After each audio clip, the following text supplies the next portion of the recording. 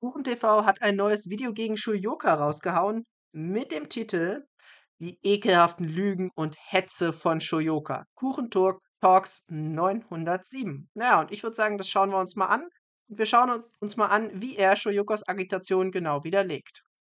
Jo, Freunde der Lügen! Shoyoka hat in zwei Streams mal wieder super lange über uns geredet, gelogen, gehetzt und einfach nur Müll erzählt. Und aus dem Grund bin ich jetzt auch einfach auf Twitch gesperrt. Sie hat nämlich gefühlt 500 Tweets gemacht, wo sie Twitch markiert hat, nachdem sie mich schon meldete, was jetzt dafür gesorgt hat, dass Twitch anscheinend erstmal eingebrochen ist und mich von der Plattform gesperrt hat. Ist ja auch die deutlich bessere Möglichkeit, als selbstkritisch zu seinen Fehlern zu stehen. Nachdem ich auf Twitch gesperrt worden bin, habe ich... Also das, das ist hier jetzt ähm, sehr besorgniserregend. Ein amerikanischer Digitalkonzern, nämlich Amazon, entscheidet einfach darüber, was in Deutschland gesagt werden darf und was nicht gesagt werden darf. Okay, KuchenTV hat jetzt das Glück, dass er einen sehr großen YouTube-Kanal hat. Aber stellt euch mal vor, er hätte diesen YouTube-Kanal nicht oder YouTube würde ihn auch noch sperren.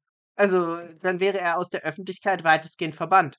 Er könnte sich vielleicht noch auf Twitter äußern, aber das ist ja nicht vergleichbar, erstmal nicht vergleichbar mit der Reichweite, die er auf Twitch und YouTube erreicht. Und andererseits ist das Format, was man auf Twitter hat, nämlich einfach nur Kurznachrichten, ja nicht vergleichbar mit dem, was man in einem YouTube-Video auf die Beine stellen kann natürlich angefangen bei YouTube zu streamen. Auch das hat Shoyoka nicht ganz so gut gefallen, weswegen sie in den nächsten Tweets dann direkt YouTube markiert hat, in der Hoffnung, dass die mich da anscheinend auch ja, es ist unfassbar. Es ist unfassbar. Ihr seht es hier. KuchenTV ist auf Twitch gebannt. Keine zwei Minuten später wird öffentlich gemacht, dass jetzt, ähm, dass jetzt gegen Twitch geklagt wird und ein neuer Ort zum Streamen gesucht.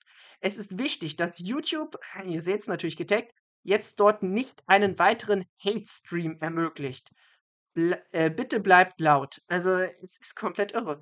Wenn jemand Shoyoka kritisiert, dann ist das ein Hate-Stream und ihm muss die Meinungsfreiheit weggenommen werden. Also er darf sich nicht mehr öffentlich äußern. Das ist die Forderung hier. Also das ja, ist schon eine Art von Demokratiefeindlichkeit, die einen eigentlich fassungslos machen kann die Plattform. Überlegt mal, wie krank das einfach ist. Das, meine Freunde, ist. Ja, es ist demokratiefeindlich und das muss man auch ganz klar so benennen. Es ist gegen die Meinungsfreiheit gerichtet die Cancel Culture. Ich gehe natürlich rechtlich dagegen vor. Bis ich entsperrt bin, streame ich allerdings auf KuchenTV Uncut, also wer Bock hat, kann da gerne mal vorbeigucken. Wie krank Shoyoka momentan unterwegs ist, sieht man unter anderem auch an folgendem Post. Da stellt sie nämlich die Frage, ob Monte sie klatschen möchte, weil dieser im Stream geschrieben hat, dann lass uns doch mal privat reden und uns die Hände reichen. Ja, das ist offensichtlich eine Androhung von Gewalt. Da geht es nicht darum, privat zu sprechen und sich die Hände zu reichen, also sich zu vertragen, sondern offensichtlich möchte er dich schlagen. Habe ich auch so verstanden. Auf jeden Fall kommen diese Woche jetzt zwei Videos zu Shoyoka, weil sie halt auch in zwei Streams über mich gesprochen hat. Hier kümmern wir uns mal um den ersten Stream. Gut und richtig. Man muss über die Hetze von Shoyoka aufklären. Man muss, ja, dagegen agitieren. Also das geht gar nicht, dass jemand versucht, den freien Diskurs zu zerstören. Die Cancel Culture ist ein riesiges Problem in diesem Land.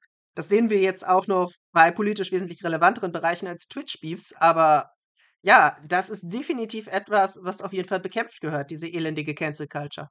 Und das Beste ist, sie stellt folgende Frage. Dass mir konkret gesagt wird, ein konkretes Beispiel dafür gegeben wird, wo ich denn was Falsches gesagt habe. Okay, du möchtest also wissen, was du alles so falsch gemacht hast? Naja, dann können wir ja direkt mal starten, oder? Könnt ihr euch erinnern, als eine andere Influencerin auf der Gamescom erzählt hat, dass sie belästigt wurde und von sexueller Belästigung gesprochen hat? Ratet mal, welche männlichen Influencer. Ah, das hatten wir in der letzten Reaktion schon. Das ist ein Fall, wo ja das, was Shoyoka hier erzählt, nicht stimmt. Unter ihren Beiträgen gekämmt haben und versucht haben, sie über Tage dazu zu nötigen, den Namen öffentlich zu machen von dem Typen, der sie sexuell belästigt hat. Damit meint sie diesen Tweet hier von Phoebe, wo sie auf der Gamescom gepostet hat, dass sie sexuell belästigt worden ist. Und wir können ja einfach mal gucken, was ich dazu geschrieben habe. Gib Name, ich kläre das. Es werden Karrieren beendet und Ehre entwendet. Dir aber alles Gute, sowas geht gar nicht. Das bedeutet für Shoyoka darunter campen und sie nötigen, den Namen zu verraten. Da kein anderer Influencer, mit dem sie momentan irgendwie im Streit ist, darunter kommentiert hat und das auch die einzige Antwort war, die ich überhaupt darunter gegeben habe, kann sie halt nur diesen Tweet gemeint haben. Überleg mal, wie krass sie da irgendwas reininterpretiert, um negativ gegen mich reden zu können. Aber wie findet das Shoyoka eigentlich, wenn sie aus dem Kontext geschnitten wird? Weil teilweise einfach Sätze genommen wurden und anders. Ach, ich habe es gerade beschleunigt, ähm, weil wir es letztes Mal schon mal hatten. Deswegen, ja, gehe ich darauf jetzt nicht nochmal einzeln ein. Zusammengeschnitten wurden oder aus komplett anderem Kontext genommen wurden und sich die Person einfach hingestellt hat und behauptet hat, ich würde über sie reden, obwohl es halt nicht der Fall war. Und die Leute glauben es. Ja, das ist natürlich ganz schlimm. Aber wenn bei mir einfach irgendwie gelogen wird, weil ein Tweet bedeutet ja campen und ich hätte sie dazu genötigt, dann ist das natürlich wieder absolut in Ordnung. Genau. Ja, diese Wokisten lieben so eine drastische Sprache. Also, wenn sie Kritik bekommen, dann ist das Mobbing, Nötigung.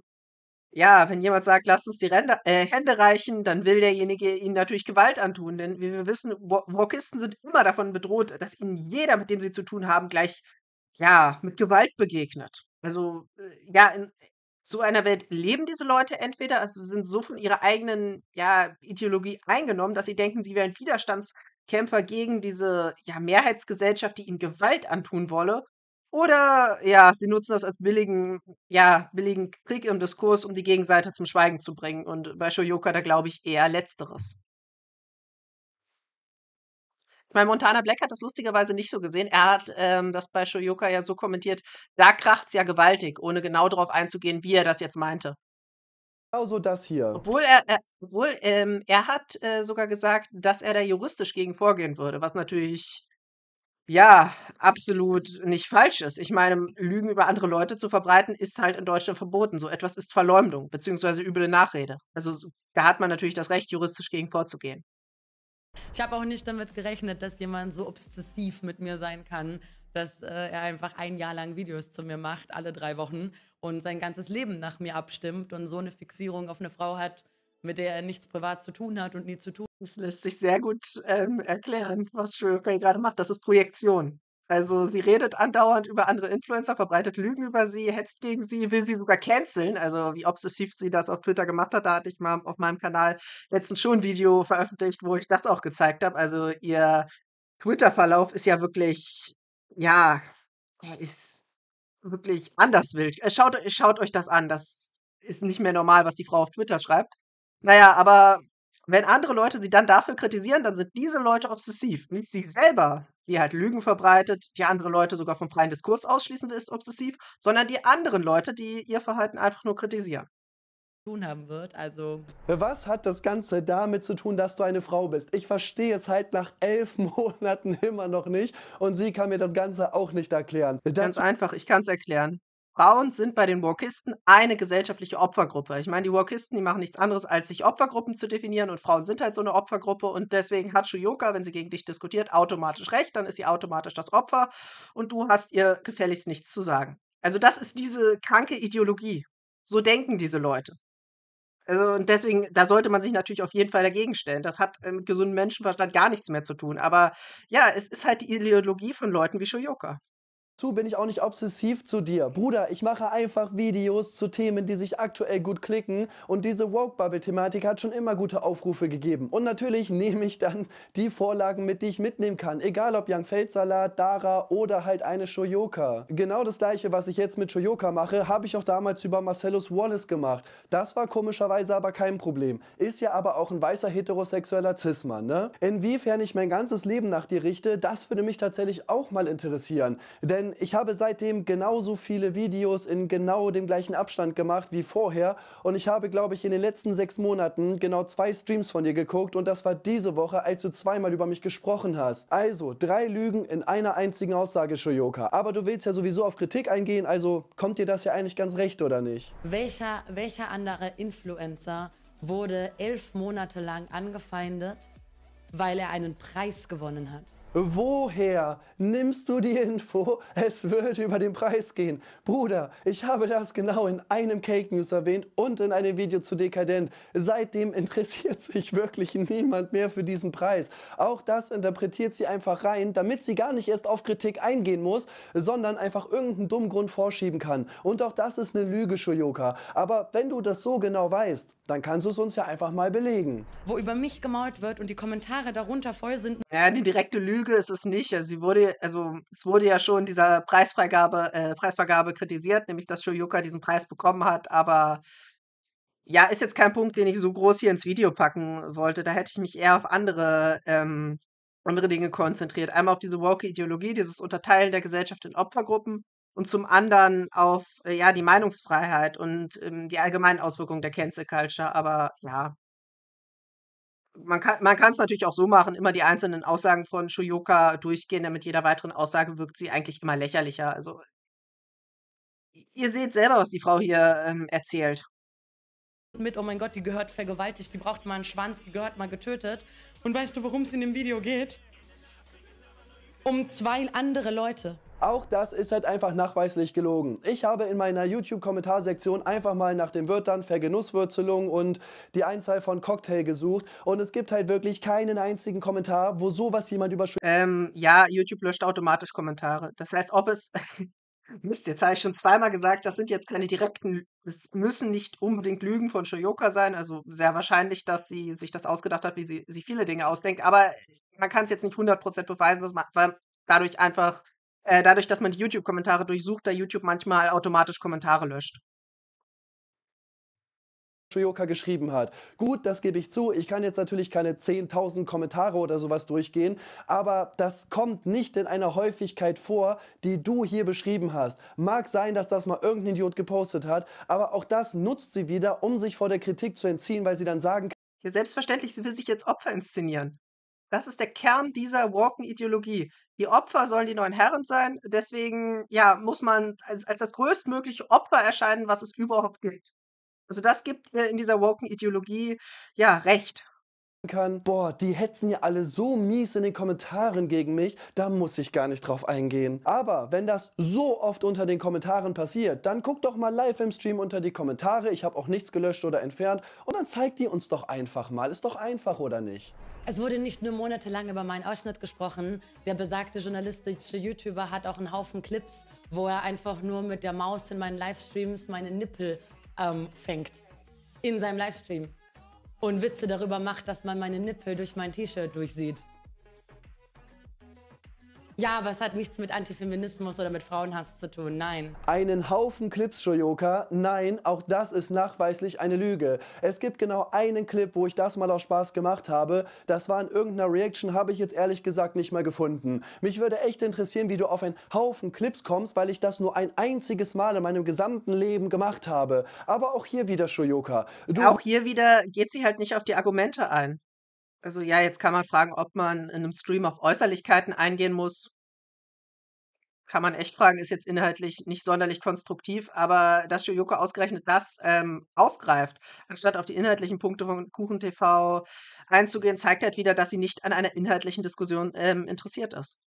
Du wirst ja wahrscheinlich sagen, dass es ja gar nicht gelogen ist. Deswegen zeig uns doch diese Haufen Clips einfach mal. Im Stream hat sie auch gesagt, dass sie sich jeden Tweet, jeden Clip und alles speichert. Das heißt, es müsste ja irgendeinen Ordner geben, wo diese Haufen Clips drin sind. Wäre ja easy, wenn du die zumindest mal bei Twitter postest, weil ich würde die tatsächlich auch sehr gerne mal sehen. Also, dass ich das gemacht habe, nicht deine Nippel. Stundenlang im Stream darüber zu fantasieren, ob ich attraktiv genug bin, um mit mir zu schlafen, ist misogyn. Stundenlang haben wir also darüber geredet, ob du attraktiv bist. Okay, dann gucken wir uns diese ganze Stunde jetzt mal an. Ich finde, sie ist eine gut aussehende junge Frau, aber Charakter macht auch hübsch oder nicht hübsch, attraktiv und unattraktiv.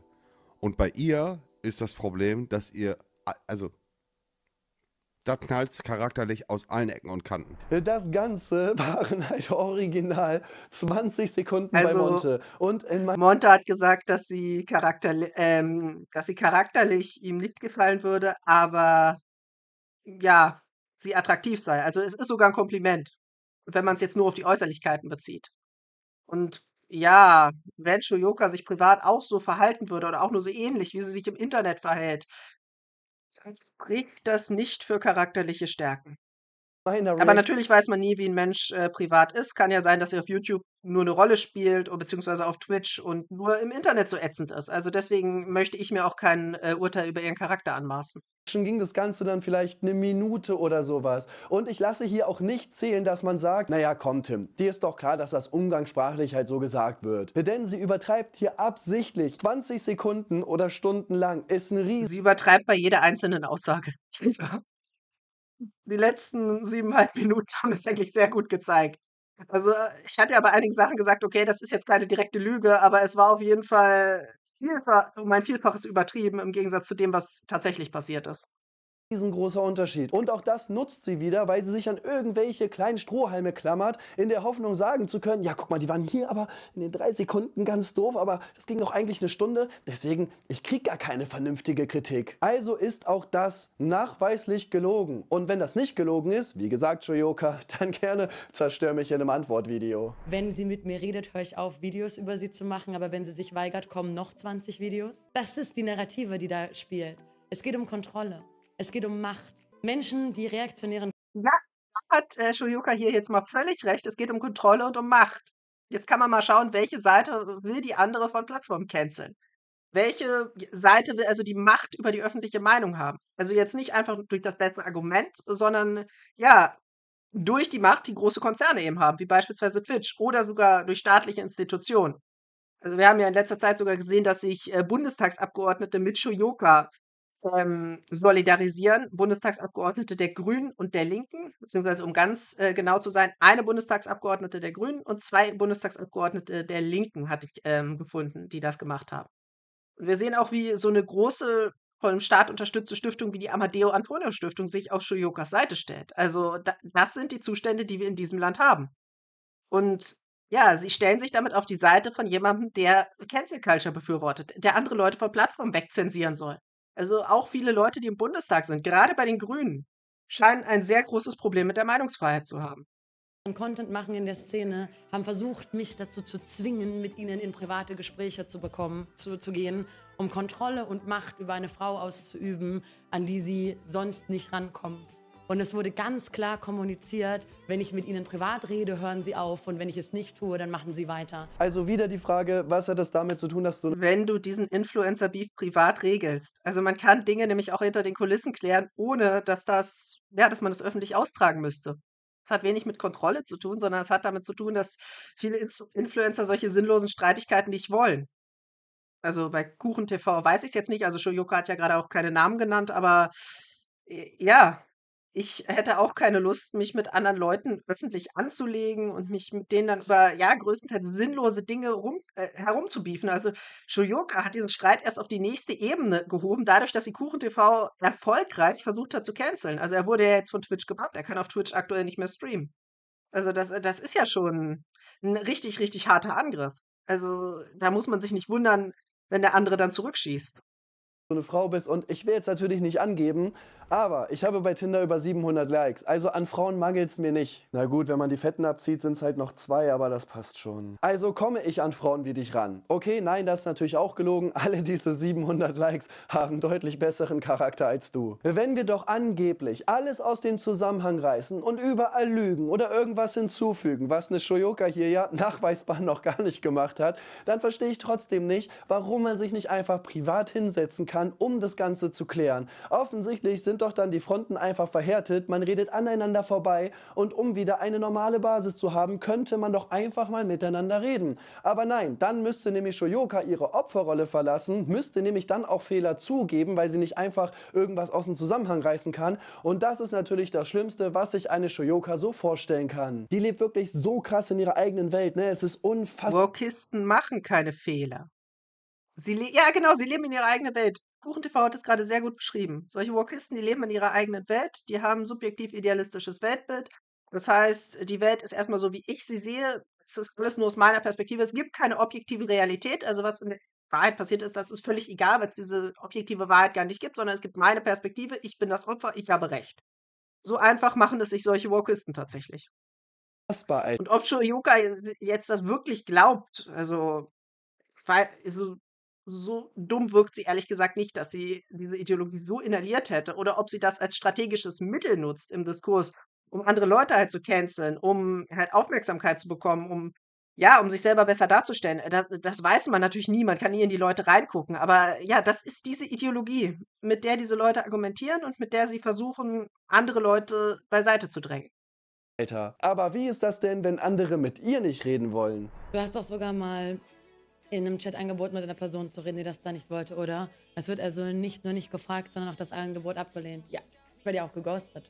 Ach so, ja, da ist es natürlich komplett schlimm, wenn man irgendwie geghostet wird und man möchte kein Gespräch mit ihr. Aber andersrum ist das natürlich komplett normal. Willst du noch mehr lügen? Habe ich parat. Diese Kampagne gab es, weil ich einen Computerspielpreis gewonnen habe und weil ich über J.K. Rowling und Transfeindlichkeit gesprochen habe.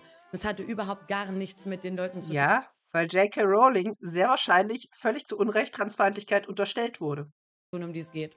Es gab zehn Videos zu meiner Person, bevor ich das erste Mal reagiert habe. Auch das ist nachweislich eine Lüge. Ich habe ein Video zu Gronk gemacht, wo auch Shioka drin vorgekommen ist. Danach kamen die beiden Videos zum Parabelritter und Hogwarts Legacy. Und das vierte Video war bereits das, wo du auf Kanzlei BBS zum Thema Volksverhetzung reagiert hast. Also wo habe ich, bevor du irgendwas gesagt hast, schon zehn Videos gemacht? Das ist einfach nachweislich ebenfalls gelogen, Bro. Genauso dämlich ist diese Aussage hier. Ich glaube, es haben auch ganz viele Leute vergessen, ne?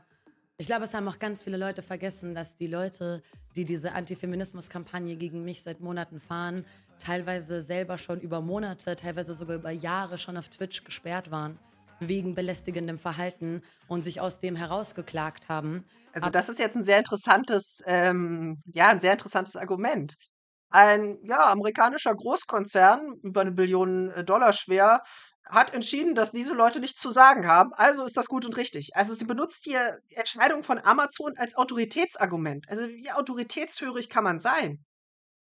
Aber in meiner Narrative haben es irgendwie ganz. Ich meine, selbst wenn der Staat Leuten verbietet, äh, ihre freie Meinung zu sagen. Ich meine, beim Staat, da sind noch ein bisschen mehr, ein paar mehr Kontrollinstanzen als bei Amazon, aber selbst wenn der Staat das entscheidet, würde ich das höchst kritisch sehen. Also ich würde beispielsweise auch niemals den Verfassungsschutz als äh, vertrauenswürdige Quelle heranziehen oder viele andere staatliche Institutionen, weil Einschränkungen der Meinungsfreiheit eigentlich so gut wie nie vernünftig äh, begründet werden können. Und hier, ja, Amazon hat das entschieden, also ein kapitalistischer Großkonzern, der von seinen Aktionären beherrscht wird. Und ähm, ja, das ist jetzt so, das ist gut und richtig so. Also, wie, wie kann man so autoritätshörig sein? Also, ja, das sind äh, diese Wokisten immer. Ich weiß, was ihr jetzt in die Kommentare schreiben werdet, aber es kann einen echt fassungslos machen. Und wie kann man dann vor allem denken, man hätte ein Argument gemacht? ganz viele Leute wieder vergessen. Ja, Skuros war über Jahre gesperrt, aber ich verstehe hier ehrlich gesagt den Punkt nicht. Er ist ja vor Gericht gegangen und wurde dann ja quasi freigesprochen. Also ein Richter hat entschieden, nein, Skuros hat nichts falsch gemacht. Also was genau ist jetzt dein Punkt? Ja, ganz einfach, weil wir in Deutschland Meinungsfreiheit haben. Weil man hier in Deutschland nicht einfach so von einer Plattform, die ja für Livestreams wahrscheinlich die wichtigste Plattform ist, gesperrt werden kann. Also so einfach geht das in Deutschland nicht, weil wir hier zumindest ähm, größtenteils noch einen funktionierenden Rechtsstaat haben. Dass Goros über Jahre fälschlicherweise auf Twitch gesperrt gewesen ist? Hä? Also, die checkt nicht. Also selbst wenn der Richter jetzt gesagt hätte, okay, Twitch äh, darf das, selbst dann würde ich das absolut kritisieren. Also selbst dann wäre das kein vernünftiges Argument. Also nur mal, um das ganz klarzustellen. Aber hier sehen wir ja, dass der deutsche Staat zumindest ähm, teilweise die Meinungsfreiheit noch relativ gut schützt nicht mal, was sie sagt anscheinend, denn das ist ja schlecht für Twitch und nicht für Skurros. Sie dreht sich wirklich alles so, wie sie es braucht. Aber ganz wichtig nochmal, Schöke hat noch nie gelogen und äh, ist ja auch generell ein toller... Ja, was heißt, sie dreht sich es so, wie es braucht, selbst. Wenn das Gericht gesagt hätte, okay, Twitch darf das machen, ne? beispielsweise, weil er wirklich gegen die TOS verstoßen hat und äh, Twitch, äh, Twitch halt nicht die einzige Livestreaming-Plattform ist, sondern er ja noch auf Geek und YouTube gehen kann. Selbst äh, wenn das Gericht das gesagt hätte, wäre das kein gutes Argument. Also einfach ein Autoritätsargument. Ein großer Digitalkonzern hat das entschieden. Und deswegen ist das gut und richtig so. Das, das, das ist doch kein vernünftiges Argument. Mensch. Aber warum bin ich jetzt eigentlich misogyn? Sich über meinen Beziehungsstatus Gedanken zu machen oder mir Datinganfragen öffentlich zu schicken, um mich zu demütigen, ist misogyn. Ach so, ja, aus Spaß nach einem Essen zu fragen, ist so misogyn, Alter, unfassbar. Schuldig im Sinne der Anklage. Aber wie sieht es jetzt eigentlich aus? Gehen wir mal essen oder eher nicht so? Weil ich saß ja wirklich, ich habe seit, seit Januar, seit Februar, habe ich mich immer wieder hingesetzt in meinen Stream und habe immer wieder gesagt, he hit me with Kritik. Oh, du fragst nach Kritik. Ja, das ist echt toll. Ja, weißt du, Shoyoka, noch besser wäre es aber gewesen, wenn du die letzten elf Monate nicht jeden weggeblockt hättest, der dir im Stream Kritik gegeben hat. Jetzt mal ohne Witz, ich habe im Stream mal gefragt, wer von Shoyoka denn blockiert ist und 80% meiner Zuschauer haben gesagt, dass sie gesperrt sind. Es ist gar keiner mehr da, der dir vernünftige Kritik geben kann, weil die alle gesperrt sind. Ja, du fragst öfter mal nach Kritik, aber wenn 50.000 Leute auf deiner Blockliste sind, die dir alle schon Kritik gepostet haben, da muss man sich auch nicht wundern, wenn man da nichts mehr bekommt. Vor allem ist der Twitch-Chat deshalb doch auch nicht die richtige Möglichkeit, um dir Kritik zu geben. Die Videos hier beispielsweise sind doch viel besser, weil ich das Ganze ja vernünftig aufarbeite. Am besten wäre vermutlich eine Debatte. Leute schreiben dann kurze Kommentare, wo sie sagen, was sie an dir nicht mögen. Du interpretierst da sowieso irgendwas Falsches rein oder kannst dich nicht an irgendwelche Sachen erinnern und sagst dann, nö, das ist aber gar kein Punkt. Also wenn du auf Kritik eingehen möchtest, dann guck dir doch dieses Video hier an, denn hier habe ich so viele Lügen von dir in diesem Video drin, dass das eigentlich reichen sollte als Kritik. Ich habe mir die Ihre Reaktion würde wahrscheinlich für noch ein Video reichen. Ich weiß schon, warum sie das nicht macht. Beiträge ja angeschaut. Leute, sind, Leute sagen mir, hey, reagier doch auf Und eventuell könnte sie ihre Zuschauer ja zum Nachdenken bringen. Und äh, ja, das will sie auf jeden Fall verhindern. Denn wer ein bisschen nachdenkt, der schaut nicht Shoyoka. die Kritik. Und ich bin halt jedes Mal so. Also der nimmt zumindest nicht ernst, was sie sagt. Also anschauen kann man sich natürlich alles, aber man sollte dann zumindest nicht annehmen, dass da irgendwas von Hand und Fuß hat. okay, was ist denn die Kritik? Äh, ja, ich habe das im Skript falsch gemacht, aber keinen Bock neu aufzunehmen. Also Shoyoka, wenn du so unbedingt Kritik willst, ich gebe dir seit elf Monaten Videos, wo ich dich kritisiere. Und selbst wenn du sagst, ja okay, die Kritik ist aber nicht gut, dann kannst du ja trotzdem darauf eingehen und das Ganze einfach mal richtig stellen oder nicht. Sollte ja dann eigentlich kein Problem sein. Was kann ich abschließend dazu sagen? Shoyoka lebt halt wirklich in ihrer komplett eigenen Welt. Sie verdreht alles komplett, sie lügt am laufenden Band, interpretiert immer irgendwelche falschen Dinge rein und sie ist trotzdem immer noch diejenige, die sich komplett in die Opferrolle stellt. Ich komme darauf halt wirklich nicht klar. Sie ist einfach der weibliche Drachenlord. Und trotzdem bin ich für Shoyoka der Böse in dieser Geschichte, ne? Ey, ich fasse es nicht. Was sagt ihr dazu? Schreibt es gerne in die Ja, Kommentare. okay, was soll man dazu sagen? Was äh, KuchenTV gerade ge- beschrieben hat, beschreibt perfekt diese woke Ideologie. Dieses, wir teilen die Gesellschaft in Opfergruppen und die Opfer haben Recht. Die, ja, den darf man nicht widersprechen, sonst ist man der Böse, sonst ist man ein Täter. Was soll man dazu sagen? KuchenTV hat Shoyoka komplett zerstört, sogar das mit dieser woken Ideologie, obwohl er es nicht mal explizit so benannt hat, hier gut aufgezeigt. Also gutes Video insgesamt. Ich, ja, hat er vorhin schon gesagt, dass ich eine Debatte zwischen den beiden sehr begrüßen würde. Ich bezweifle aber, dass das zustande kommt. Shoyoka cancelt lieber Leute weg, die sie kritisieren. Ja, wie das äh, Wokisten häufiger so machen. Was soll man dazu sagen? In diesem Sinne, ja, ähm, kann ich mich in diesem Beef eigentlich nur eindeutig auf eine Seite stellen, nämlich auf die Seite, die die Meinungsfreiheit nicht einschränken will. Auf die Seite KuchenTVs.